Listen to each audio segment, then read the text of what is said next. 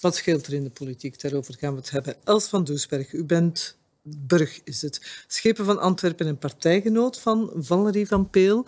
Ze heeft het zaterdag meegedeeld op Twitter. Was u verrast of wist u het al? Ik was niet verrast, omdat ik haar al uh, via WhatsApp gehoord had uh, na het hele asbestverhaal. Mm -hmm. En ik voelde toen wel aan dat er bij haar echt uh, een fundamentele teleurstelling was. Mm -hmm. Dus dat ging verder dan het was een rotweek en volgende week doen we voort.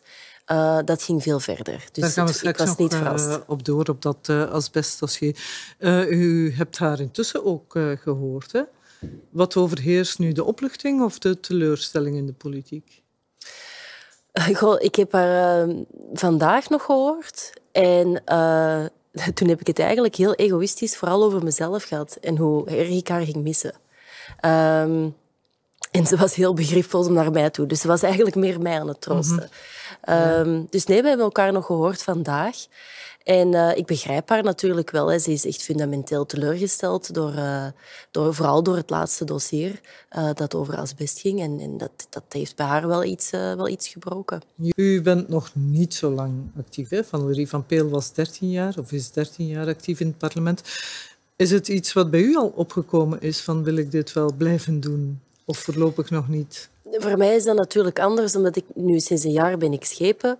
En daar kun je zoveel concrete dingen doen, dat je elke dag wel gelukkig kunt gaan slapen. Dus als je ergens uh, een, een, een, groene plek hebt aangelegd en je ziet daar dan kinderen spelen, ja, dat doet heel veel deugd. Je hebt een machtsfunctie. Ja. Je, je kan iets doen, je, je hebt een uitvoerend mandaat, dus dat, dat helpt. Um, maar daarnaast ben ik heel geëngageerd voor uh, mensen in samenleving. Heel veel mensen hebben dat. Daarvoor hoef je niet per se aan politiek te doen. Maar ik begrijp wel, en dat is denk ik ook hetgeen uh, waar Valerie naar ver, uh, verwijst, dat als je dat engagement tot in het diepste van je zijn voelt, zoals Valerie dat voelt, zoals ik dat voel, en je botst permanent op muren waar je niet door kan, dat je op een gegeven moment gaat afvragen, kan ik dat engagement ook niet op een andere manier invullen? U zei het al, het is dat asbestdossier, wat voor haar de druppel was die de emmer deed uh, overlopen. Zij, Valerie van Peel, had het voorstel ingediend dat slachtoffers die een premie gekregen hadden van het uh, asbestfonds toch nog naar de rechter konden stappen, wat nu niet kan. Dat voorstel werd door de meerderheid weggestemd. Dit is al maanden geagendeerd, hè? Ik heb jullie allemaal gemaild met de vraag: moeten we hierover samenzitten? Zijn er aanpassingen mogelijk? Niks. Geen reactie. En nu hebben jullie vandaag het licht gezien dat je wilt gaan samenzitten?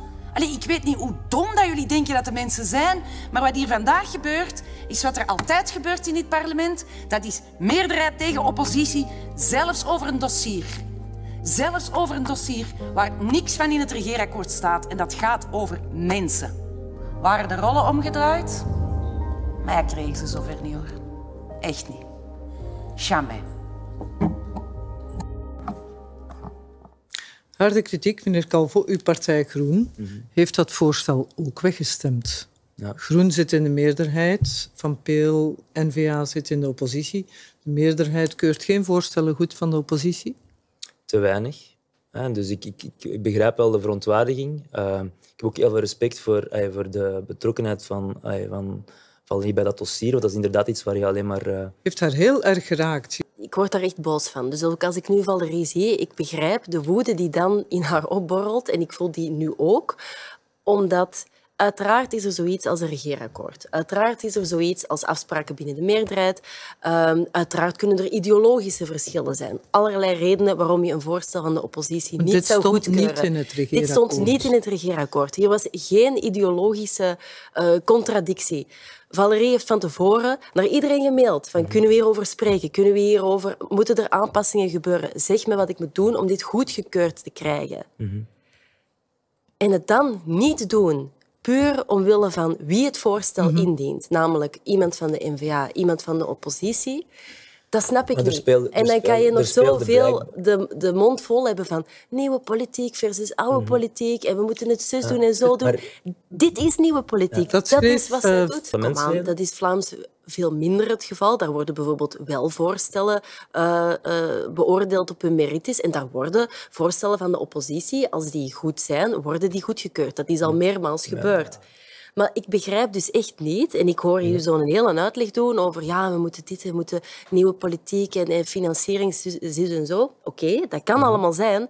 Maar Waarom keurt je dan zo'n voorstel niet goed? dat begrijp ik echt totaal er, niet. er, is helemaal, er is geen ideologische contradictie over. Iedereen wil dat eigenlijk. en je doet het niet omdat er, omdat er een verkramping is van dit is oppositie. Dat gaan we zeker niet doen. Het is natuurlijk ook demotiverend als je werkt in, in, een, in een structuur waarbij je wel aanvoelt, en ik denk dat vooral NVA'ers dat aanvoelen, omdat ze zo graag dingen zouden veranderen, zeker op het federale niveau. Het gaat over het dat je dan denkt van, ja, kom aan, hier beweegt gewoon niks. Ja, meneer... Politiek is strijd. Politiek is van mening. Ook samenwerking. Politiek ook samenwerking. ja, maar ook elkaar respecteren. Ja, maar wacht ook letten op je woorden. Als je, als, je, als je in strijd gaat met elkaar, inhoudelijk, mhm. ideologisch, dan mag dat scherp zijn. Absoluut. Maar dan is het toch des te teleurstellender dat op een topic waar we mhm. ideologisch niet met elkaar verschillen, maar waar je wel predikt om samen te werken, je wel, dat je dat niet doet. Wij doen op een forse manier aan politiek. Maar nooit op een denk, ruwe manier? En ik denk dat dit land ook nood heeft aan een forse manier van Fors, politiek. maar niet ruw.